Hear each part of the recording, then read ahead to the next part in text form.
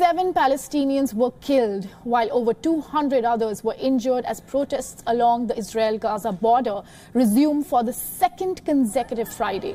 Several were left seriously injured after being wounded on their heads and upper body. They were taken to the hospital, while several others are being treated for smoke inhalation.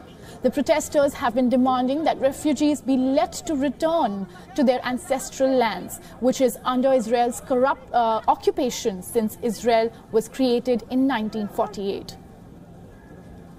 Palestinian protesters have set hundreds of tires on fire along the border to create a smoke scare, uh, a, a smoke screen so that Israeli snipers find it difficult to target protesters.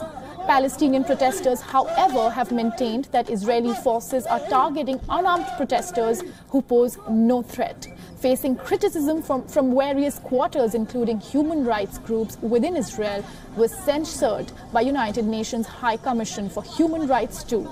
The spokeswoman of the Human Rights Watchdog warned that under international law, firearms could only be used as a last resort when there is an imminent threat to death or serious injury.